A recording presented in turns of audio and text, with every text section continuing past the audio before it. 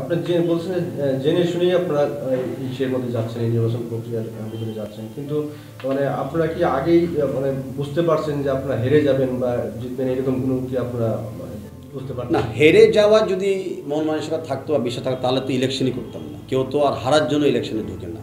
আমরা জিতবো জিতবো নিশ্চিত বলে আমরা ইলেকশনে আছি। অ্যান্ড জিতবো বলে আমরা শেষ পর্যন্ত থাকব। অ্যান্ড জিতবো বলে আমরা পদক্ষেপ নিচ্ছি। যে এরকম একটা নির্বাচন যেন বিতর্কিত সৃষ্টি না হয়, বানচাল না হয়, বন্ধ না হয়ে যায়। আমি ব্যক্তিগতভাবে বিগত এই বাই ইলেকশনে নিজে প্রার্থী হয়েছিলাম যখন হাইকোর্ট একটা স্টে এসেছিল নির্বাচন না করার জন্য। তো আমরা চেষ্টা করি নির্বাচন করার জন্য। আমরা জুলাই মাস থেকে প্রেশার দিচ্ছিলাম ইলেকশন কমিশনকে যে তফসিল ঘোষণা করার জন্য। তো বিএনপি জাতীয়বাদী দল কিন্তুই বারে বারে এই নির্বাচনটা করার জন্য করার প্রস্তুতিমূলক কাজ করার জন্য প্রেশার দিয়ে এসেছে বিগত ছয় মাস ধরে। তো ইলেকশন সুস্থ করার জন্য যত যত পদক্ষেপ আমরা নিচ্ছি। আমি মনে করতেছি ক্যান্ডিডেট হিসাবে, গণতন্ত্রকে বিশ্বাস করি একটা ব্যক্তি হিসাবে, একটা বৃহত্তর দল যা আদর্শই হলো গণতন্ত্র উপরে সব কিছু পরিচয় করার জন্য আমরা ইলেকশনকে যেভাবে পারি সুস্থ করার জন্য আমরা কর্মসূচি নিব। কারণ ইলেকশন কমিশনকে জব দিতে হবে যে ওনারা কি আমাদের সহযোগিতা নিবে? ওনারা কি ওনাদের দায়িত্ব পালন করবেন? নাকি ওনারা একটা রাজনৈতিক মহলের জন্য দলীয় কোনো আচরণ করে ওনারা ইলেকশনটাকে নষ্ট করে দিবেন? তো আপনাদের আহ, প্রতিপক্ষ যারা তারা তো বারবার বলছেন যে আপনারা সবসময় যে কোনো নির্বাচনে আসেন। অভিযোগ তোলেন যে নির্বাচন সুষ্ঠু হবে না নির্বাচন অবাধ হবে না। এটা এটা আপনারা অভিযোগ আগে থেকেই তুলেন। কিন্তু মানে অন্য নির্বাচনে সিলেট বা অন্যান্য যারা উদাহরণ দিয়েছে যে আপনাদের প্রার্থী জিতেছে তাহলে আপনারা কেন এই অভিযোগ জিতাহারা নিয়ে সুস্থ নির্বাচনের কোনো পরিচিতি পাওয়া যায় না। আমরা আগামী দিনগুলোতে কিছু কিছু ইলেকশন জিততেও পারি, কিছু কিছু ইলেকশন হারতেও পারি। কিন্তু আমাদের যে মূল লক্ষ্যমাত্রা, যে বাংলাদেশে প্রত্যেকটা সমস্যা শুরু হয় নির্বাচন কেন্দ্র করে। আমাদের ডিভাইসিভনেস শুরু হয় নির্বাচন কেন্দ্র করে। আপনি এই নির্বাচনও দেখেন, নির্বাচনের যে পরিস্থিতি, যে অবস্থা, যেখানে উৎসব পাওয়ার কথা। উৎস না পেয়ে বর্তমান যদি আপনি তালিকা দেখেন, যে কাউন্সিলর প্রার্থীরা সংখ্যা কমে গিয়েছে।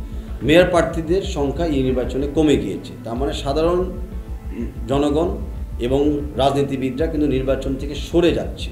এই সরে যাওয়াটাই কিন্তু হলো এই সরকারের প্রধান লক্ষণ। ওনারা চাচ্ছে যে বাংলাদেশে ভবিষ্যতের জন্য আর কোনোদিন কোনো নির্বাচন না হয়। রাজনৈতিক মহলে তো হচ্ছেই না। আর সাকসেসফুলি দেখেন অরাজনৈতিক মহল যেগুলা, আমাদের ব্যবসায়িক প্রতিষ্ঠানগুলা, ক্রীড়া প্রতিষ্ঠানগুলা, সামাজিক প্রতিষ্ঠানগুলো, কোনো একটা জায়গায় কিন্তু কার নির্বাচন হচ্ছে না বা হতে দিচ্ছে না।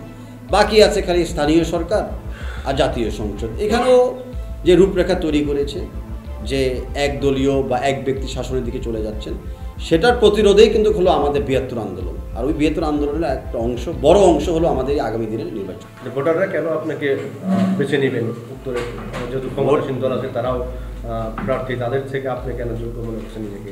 ভোটাররা আমাকে বেছে নেবে কারণ পরিষ্কার ভোটাররা ভোটাররা চেষ্টা করেছিল আমাকে দায়িত্ব দিতে পাঁচ বছর আগে। তো ওনাদের যে একটা জনমত ছিল আমার প্রতি সেই জনমতটা তো হস্তক্ষেপ করে নিয়ে গেছে আমাদের ক্ষমতাশীল সরকার এবং তাদের দলীয় প্রশাসন।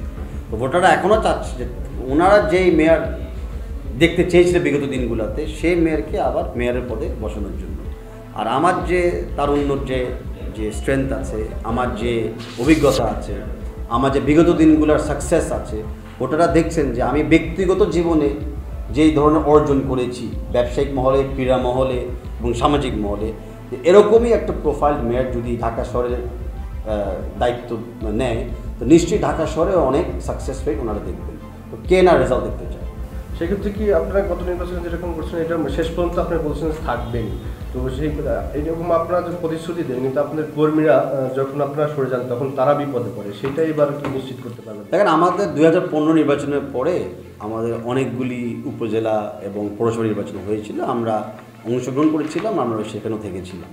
বিগত তিরিশে ডিসেম্বর জাতীয় সংসদ নির্বাচন শুরুর থেকে যেখানে হামলা হচ্ছিল ডিসক্লাফিকেশন হচ্ছিল, সরকারের হস্তক্ষেপ হচ্ছিল, তাও আমরা সেখানে ছে- থেকেছি। তো আমরা যদি জাস্ট রিসেন্ট ইলেকশনগুলোকে দেখি বিএনপি প্রত্যেকটা নির্বাচনে অংশগ্রহণও করেছে অ্যান্ড যেই ইলেকশন অংশগ্রহণ করেছে সেই নির্বাচনে শেষ পর্যন্ত বিএনপি থেকেছে। এটা আমাদের কর্মীদের কাছেও যেরকম পরিষ্কার আমাদের যারা সমর্থন করেন তারাও এই- এই ব্যাপারে খুব পরিষ্কার।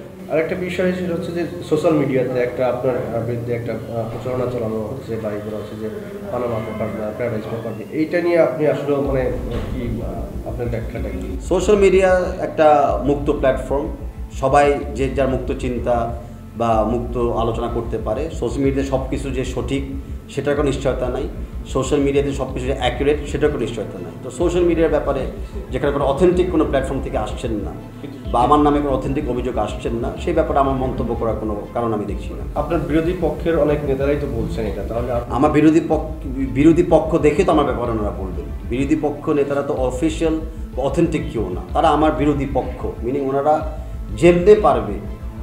গুজব দিয়ে হোক কিছু সত্য দিয়ে হোক কিছু মিথ্যা দিয়ে হোক আমার সমালোচনা ওনারা করবেনি তো সেই সমালোচনা করার জন্য আমি ওনাদেরকে আহ্বানও জানাই কিন্তু আমি মনে করি না যে কোনোভাবে আমার দরকার এই এটা কি কথা? সোশ্যাল মিডিয়াতে যদি কেউ বিরোধী পক্ষ থেকে কোনো অপচার আমার বিরুদ্ধে চালায় এনা ওনাদের একটি করতে- ও- মানে প্রশ্নগুলো ওনাদেরকে করতে হবে যে তথ্য অপপ্রচার বা- কি না? কি করেন সোশ্যাল মিডিয়াতে যদি কেউ আমার বিরোধী পক্ষ হয়ে থাকে অবশ্যই তারা অপপ্রচার করছে। পুরো দেশের জনগণ এবং অনেক সুশীল সমাজের নেতৃত্ব সবাইকে একজোরে বলছে যে বর্তমান ইলেকশন কমিশনের উপরে কারোই কোনো আস্থা নাই। আর ওনাদের নিজের কথাতে নিজেরা আরও বিতর্কিত ওনারা সৃষ্টি করে। এটা হলো আমাদের গত আসলে ইভিএমের প্রসঙ্গে। আর তাও ইভিএমের কি হবে সেটা আমরা এখনও আশাবাদী যে একটা কি বলে, একটা তো কনক্লুশন বা একটা মিউচুয়ালি কনসেন্ট আমরা আসব। কথা আলোচনা মনে হলো যে দুই পক্ষই রিজিড না, তো কিছু একটা পজিটিভ চেঞ্জ আমি এখনও আশা করছি। ইলেকশনের প্রচারও শুরু হয় নাই, আর ইলেকশন তিরিশে যান তো একটু সময় আছে আমাদেরকে আরও দুই ভাগ একটু সংলাপ করার জন্য। তবে ইলেকশন প্রক্রিয়া যখন শুরু হয়ে যাচ্ছে, আমরা বারে বারে বলছি যে পুরা ইলেকশন প্রক্রিয়া শেষ পর্যন্ত আমরা থাকব। অ্যান্ড ইলেকশন প্রক্রিয়া শেষের, শেষ না হওয়া পর্যন্ত আমাদের বসে বা সরে যাওয়ার কোনো মন মানসিকতা এবং অবস্থান আমাদের নাই।